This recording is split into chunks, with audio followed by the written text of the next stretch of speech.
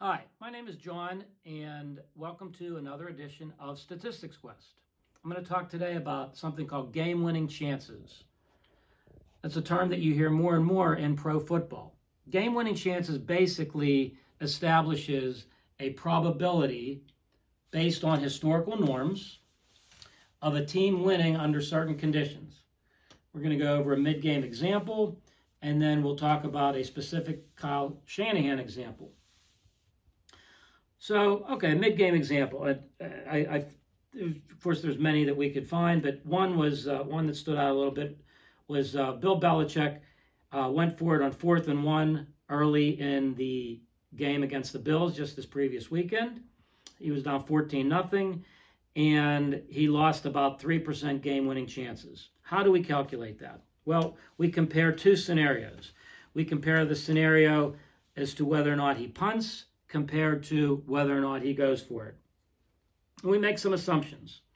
So assume that they are at midfield. I'm not sure where they were, but let's assume midfield. And assume that they have a 65% chance of making a first down on fourth and one. Okay. We'll also assume that if they make a first down, they then have 35% game winning chances because we update our game winning chances because now they have a first down at midfield instead of facing a fourth down, which they did prior. Let's also assume that if they miss the first down, they have 28% game winning chances. How do we get these numbers? Again, based on historical norms. We can say, well, if we go back in history and look at similar scenarios, that these numbers are pretty close to being the case under you know these situations. Now there's some discretion involved. You know, that you have the relative strengths of the team certainly, and uh, you know one person's adjustment for that might very well be different than another person's adjustment. But these numbers should be in the ballpark. Okay, we, we'll do some number crunching. If they punt, let's assume they have 30% game-winning chances. Okay, again, that's based on historical norms. That's pretty easy. That's right here, 30%. What if they go for it? Well, if they go for it, one of two things can happen. They can either make a first down or not make a first down.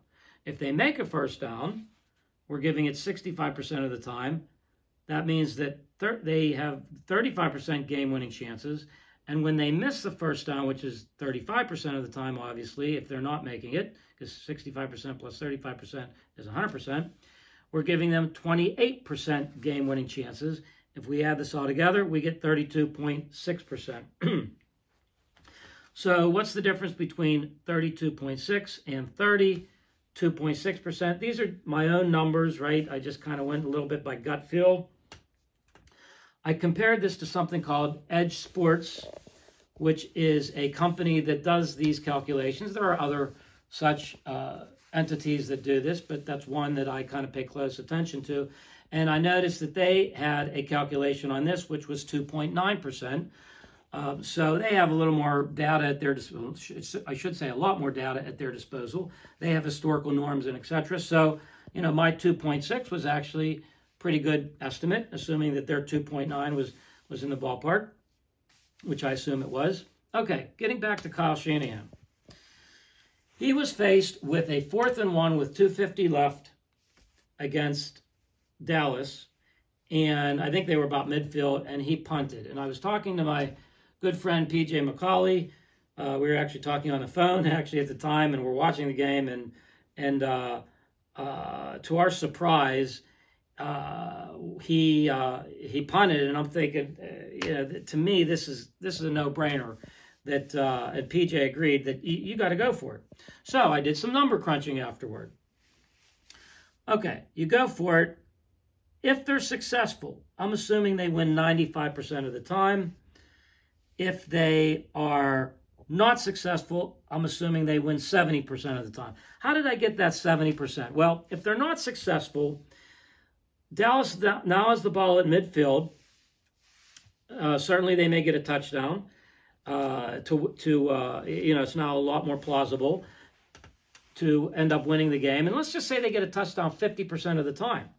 Well, that doesn't mean they win 50% of the scenarios because as I point out over here, San Francisco still can get a field goal a certain percent of the time after that to then win the game. So basically, San Fran- if San Francisco punts, excuse me, goes for it and fails, they may win even if Dallas gets a touchdown. So you have to include all of that. And I'm just estimating, right? There's a lot of parlays involved here, but I'm estimating that at 70%. So going back, I'm saying that 65% of the time that they convert on fourth and one, they win 95% of the time. And the 35% that they don't convert on fourth and one, they still win 70% of the time. That's 86% of the time. What if they punt?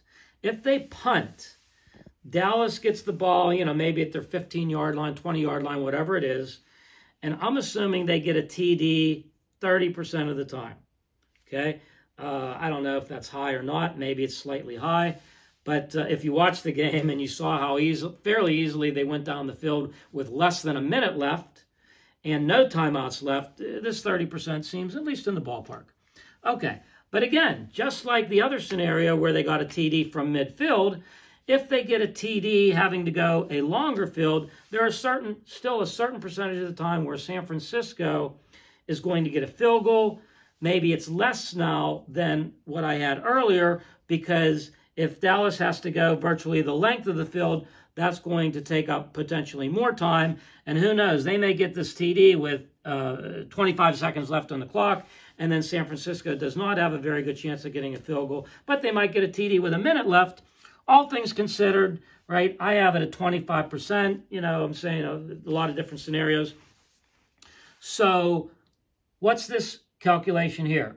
I'm saying that if they punt, 70 times Dallas doesn't even get a TD, which I'm getting, giving San Francisco all of the wins there. But of the 30 times that Dallas does get a TD, I'm giving San Francisco 25% of those wins because, as I said, I think they get a field goal uh, in those cases.